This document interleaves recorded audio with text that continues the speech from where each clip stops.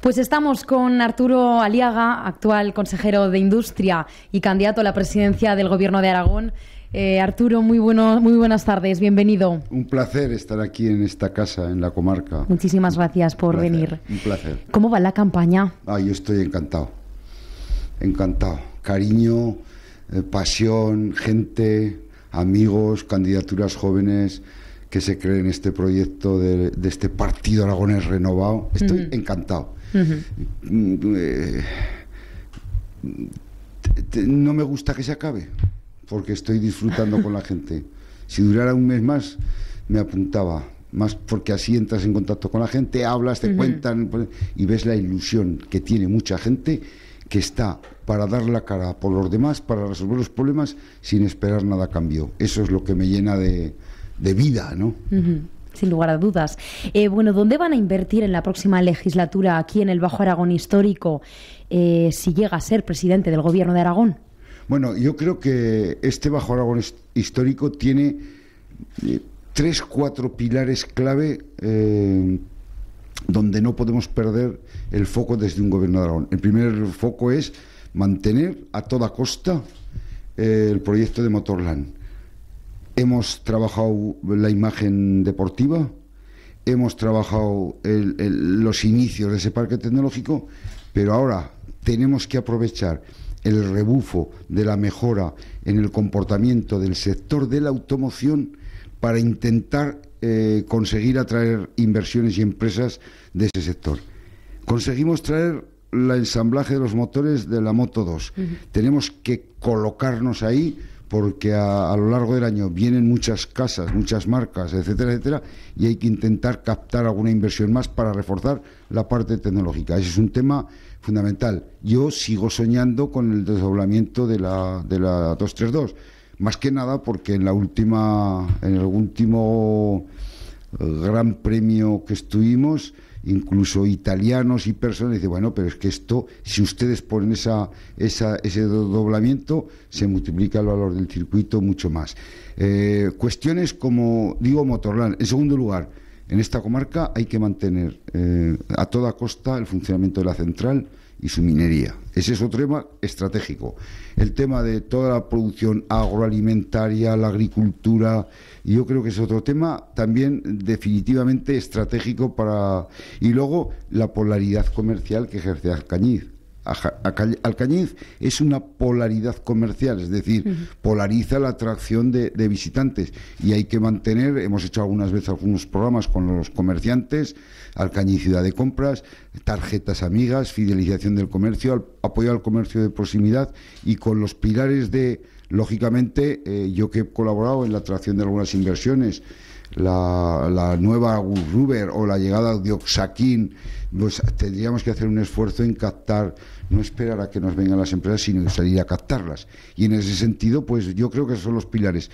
Mm, potencial agricultura, alcañiz, polaridad comercial y de servicios, el tema de la minería del carbón que irradia más allá de lo que es la térmica y el tema de Motorland con el turismo de motor y luego lógicamente el quinto pilar, el turismo, patrimonio natural cultural, histórico, monumental, eh, comarcas eh, Caspe con la pesca, eh, Matarraña. Y yo, creo que aquí el desarrollo, los ejes y los pilares de dónde hay que poner el acento en las políticas, como el último plan de dinamización turística, hay que, hay que trabajar en esos ejes. No nos inventemos cosas raras, porque yo creo que la especialización inteligente de Alcañiz se asienta sobre esos cinco pilares. Bueno, acaba de tocar los proyectos, los temas fundamentales que preocupan al Bajo Aragón histórico ahora enseguida les lo vamos a desgranar un poquito mejor. Si hablamos de Motorland, entonces van a seguir luchando por la continuidad de la celebración de renovar contratos y la celebración de los grandes premios, como también Superbike, World Series de Renault también, y además del Parque Tecnológico Tecnopark, para que siga siendo una referencia para futuros ingenieros industriales. Vamos a ver, lógicamente, eh, además está evaluado el impacto de Motorland en su conjunto produce un impacto entre 30 y 35 millones de euros. Lógicamente pagamos un fee por traer la moto GP2. Yo hago un llamamiento. Si perdemos un año que venga la moto, el GP, no volver al Cañiz. Y eso es lo que nos ha irradiado porque cuando en la MotoGP nos ven 300 millones de telespectadores.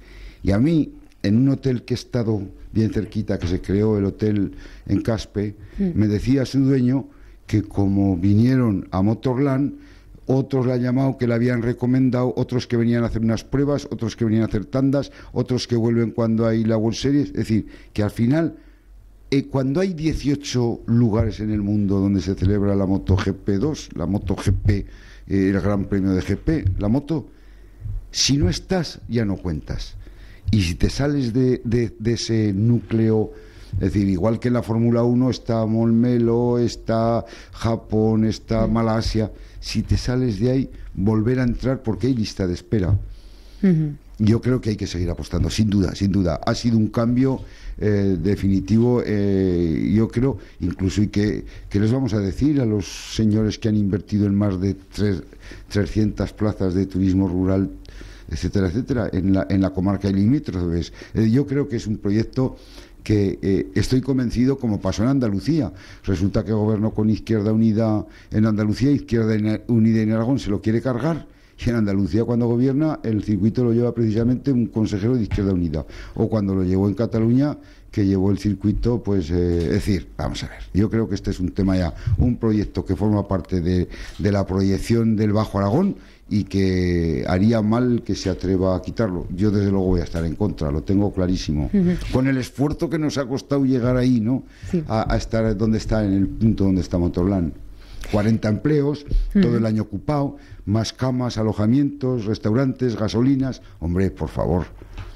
Ha hablado de minería. Esta pasada semana se reunían sindicatos con la directora general de Minas de la DGA, con Marina Sevilla, ¿Qué va a pasar? ¿Qué va a pasar? Mira, este consejero, este consejero, estuvieron con la directora porque yo estaba fuera y no podía recibirlos, porque sabe usted que los recibo y voy a las minas y bajo a las minas, y, cuando hay un encierro voy a la cara. Hay tres pilares fundamentales para el futuro de esa térmica que juegan a nuestro favor.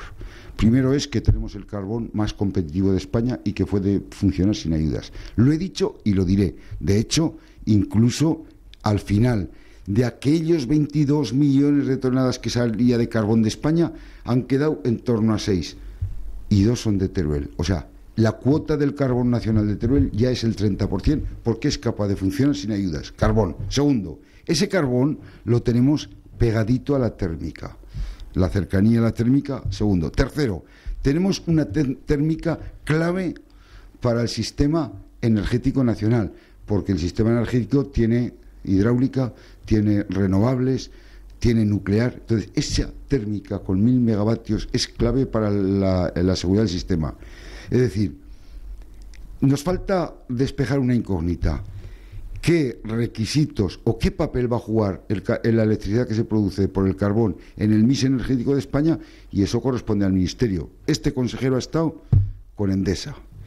Endesa dice que cuando uno se compra o, invierte eh, en un piso, en un local, tiene que saber si va a poder devolver el crédito o va a utilizar el local o va a cobrar alquiler. En este caso igual, si invierte Endesa, en este caso, en él, 240 millones de euros, los tiene que invertir sabiendo cuántas horas de funcionamiento va a tener la central a lo largo de los próximos años, porque si no, nace, hace las inversiones. Y esa regulación es lo que se llama pagos por capacidad, que el Ministerio tiene que asegurarle cada año unas horas mínimas para que se pueda amortizar la inversión.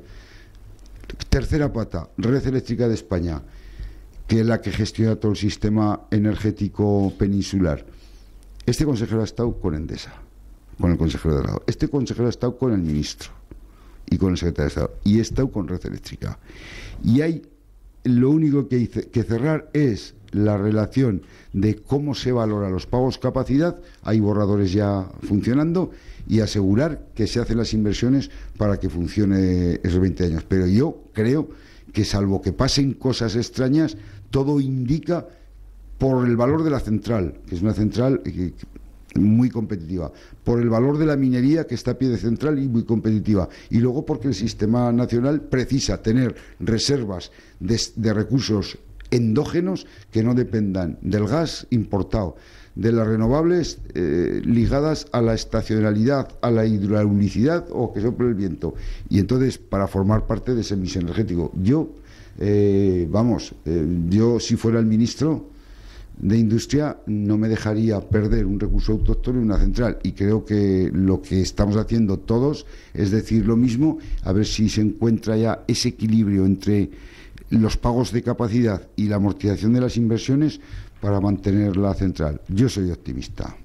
Y no lo digo porque estemos en campaña electoral, lo he dicho antes. Mm. Lo he dicho en Andorra cuando y lo he dicho antes en todas las reuniones. ¿Por qué? Pues porque yo creo que son necesita más el sistema español a la central que la central al sistema español. Es decir, como ha dicho, como dije, ¿no? Yo necesito más a ellos que ellos a mí. En este caso, el sistema necesita la central. Todos los partidos eh, eh, abogan por luchar frente a un, un, problema grave que sufre este territorio, que es la despoblación. ¿Cuál es la solución? Bueno, vamos a ver. Eh, yo creo que hemos hecho alguna algún algún proyecto hemos hecho con acierto. Es decir, cuando ahora es lógicamente la despoblación y la dispersión de la población, es decir, envejecimiento y dispersión. Vamos a ver. El proyecto de Dinópolis tiene una sede en Teruel Galve, Ariño, Peñarroya, Río Deva, Rubielos, para que todos los fósiles no los llevemos a Teruel y, hagamos elementos donde trabajan dos chicas, van turistas, compran pan. Es decir, si ponemos proyectos de desarrollo en el territorio, será más fácil que evitar que se despueble, sobre todo de jóvenes. Segundo, los temas del relevo generacional en la agricultura. A mí me preocupa que el crédito que se dispone ahí no sea ampliable, porque se incorporarían muchos jóvenes agricultores a la agricultura. Tercero, el mismo proyecto que hablábamos, gordo, fuerte, Motorland, ha dado lugar a pequeñas viviendas de turismo rural y tal, tres, cuatro pueblos. Entonces, para luchar contra la depoblación hay que hacer proyectos en el territorio, proyectos concretos. Es decir, no, dice, o, o incluir incluso, si me apura usted, en los próximos fondos de inversiones de Teruel, hemos hecho infraestructuras. Pues hemos atendido a las infraestructuras.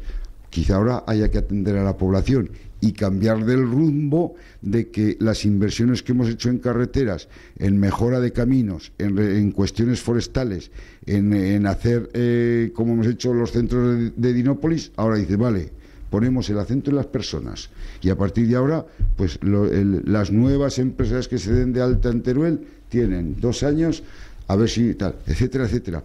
Pero esos temas hay que tener cuidado porque entonces también chocamos a veces porque los que están se quejan de que a veces damos ayudas a los que vienen y les hacen competencia. Es decir, hay que sentarse, tiene que haber acuerdo político para que el tema de la despoblación no sea arma arrojadiza, porque si no estaremos siempre igual y no haremos nada el proyecto del norte de Teruel, el proyecto de la minería, el proyecto de las ampliaciones de las pistas de esquí, el proyecto de Calamocha-Lacua y luego vamos a ver otros pequeños proyectos que van surgiendo, artesanía alimentaria, incorporación de agricultores, hemos apoyado la concentración portesa, los cereales Teruel, estamos trabajando en muchos temas, pero ¿qué pasa? ¿Qué es insuficiente?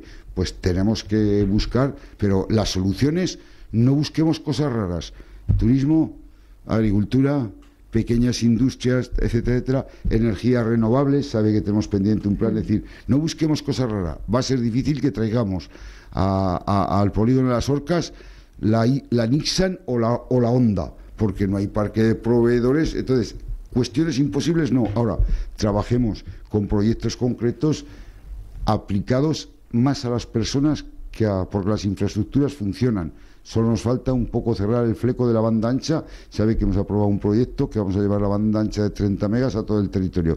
Pero yo creo que ahora el Fondo de Teruel, que ha sido durante estos años un impulsor de infraestructuras, hay que cambiar y enfocarlo hacia las personas, a proteger ya a las personas, a los nuevos emprendedores, a los que se instalen, a las empresas instaladas que se les pueda ayudar a exportar, ayudar a crecer, darles créditos blancos para que sean más competitivas, más innovadoras. Yo creo que tiene que ir el tema por ahí. Infraestructuras no, personas. Aquello de el Samuelson, cañones por mantequilla. Le hemos escuchado hablar eh, estos días del trasvase. ¿Qué opina? Cuénteselo a todos los oyentes. Bueno, yo, yo que, eh, que, que soy de una tierra, ya lo he dicho muchas veces, hombre, si, si emigraron la gente de Teruel es porque no había oportunidades aquí y emigró la gente del Alto Aragón. Vinieron los regadíos de Monegros, está el plan estratégico del Ebro, los regadíos de Caspe, las obras del Pacto del Agua del año 92, hay demasiadas cosas pendientes. Entonces, cuando sobre la mesa te reúnes con las comunidades de regantes, y, te, y están todos tienen obras pendientes en modernización, nuevas obras para ampliar hectáreas en los Monegros, en las cinco villas, en Caspe, en, eh, en el canal Calanda. Calanda Alcañiz. Calanda Alcañiz. Hay obras pendientes. Entonces, no puedes entender como un señor que no conoce la historia y la reivindicación de esta tierra para regar, sin agua no hay futuro ni hay agricultura competitiva diga que, el trasvase, que, que, hay que ser solidarios. Vamos a ver, solidarios. Aragón ha sido más solidario que, con España que España con Aragón. Yo, por ejemplo, con la minería, yo le estoy diciendo, ¿cuántos millones de kilovatios hora generosos ha dado Teruel y mineros y minería para que España se desarrollara? Pues hombre, cerrar las minas y se acabó. Y la central de tierra y se acabó. No, no, no. Así no se trabaja hay que devolver y hay que ser generoso con los territorios que han sido generosos. Hombre, Aragón eh, es un territorio con poca población y no precisa de grandes inversiones.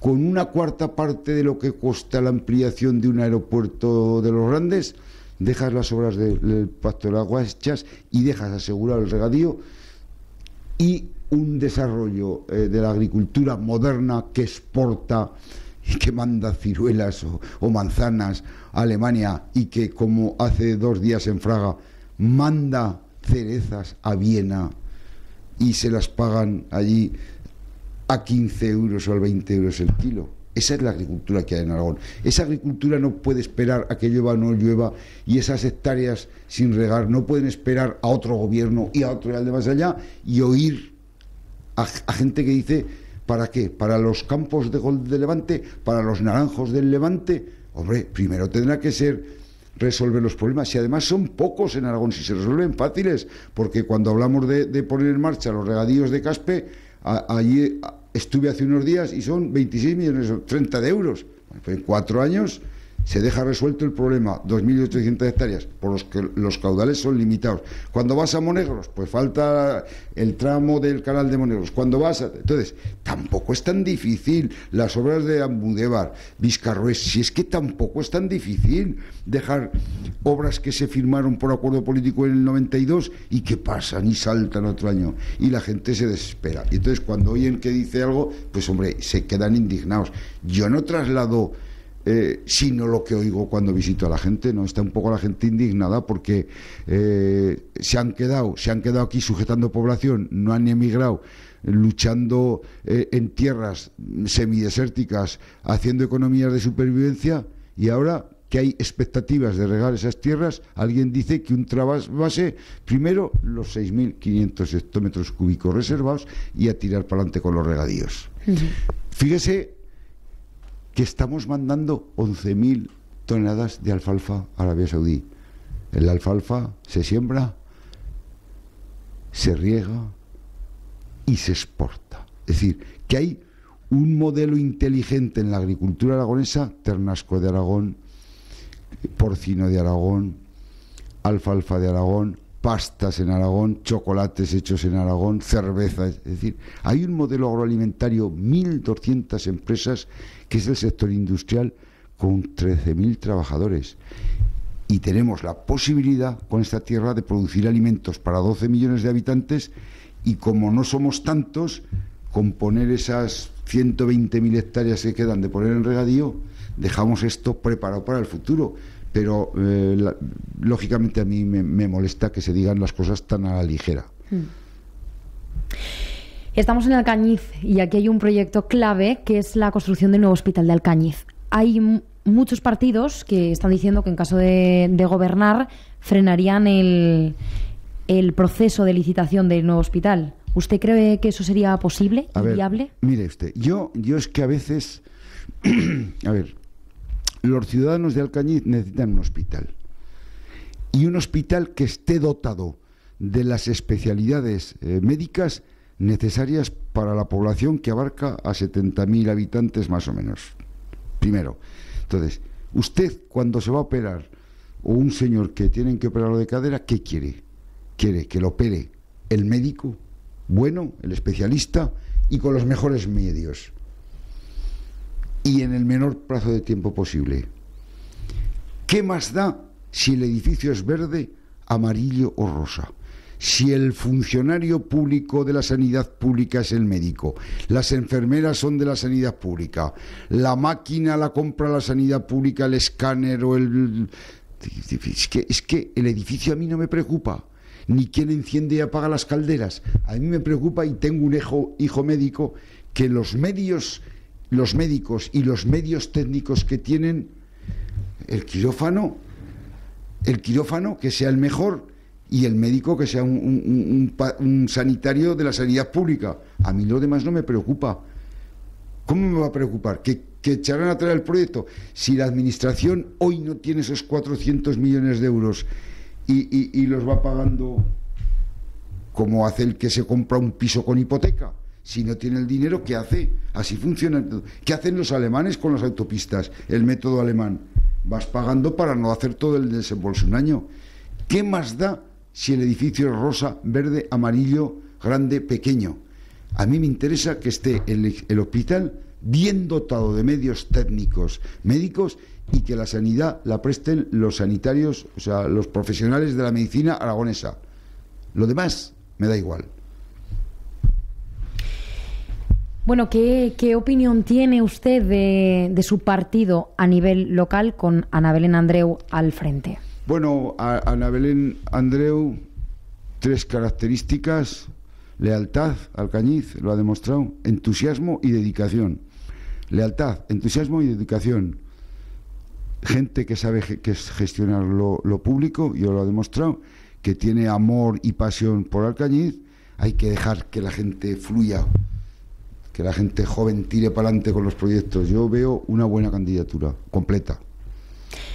En caso de gobernar, ¿con qué otras fuerzas políticas se apoyaría? Hay que ver lo que dicen los ciudadanos, pero experimentos raros no.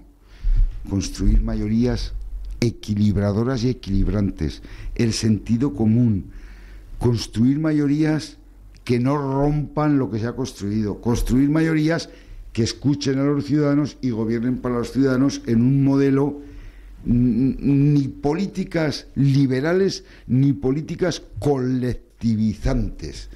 Vamos a quedarnos en gobernar para, para una amplia base de ciudadanos con cosas de sentido común y sensatas, pero yo ni excluyo a nadie, ni nadie tiene derecho a excluirme para gobernar un ayuntamiento. Si se tiene vocación de, de gobierno, y lo digo como, como dije, no es lo de Andalucía, lo primero es formar gobiernos para resolver los problemas de los ciudadanos. Lo demás es jugar a intereses partidistas frente a intereses de los ciudadanos. Y en Alcañiz hemos demostrado que cuando un partido gana hay que darle la estabilidad y al ayuntamiento y la gobernabilidad y si se equivoca el que tiene la mayoría, luego los ciudadanos que lo juzguen. Pero experimentos de ir para que no gobierne el otro, no, de eso no.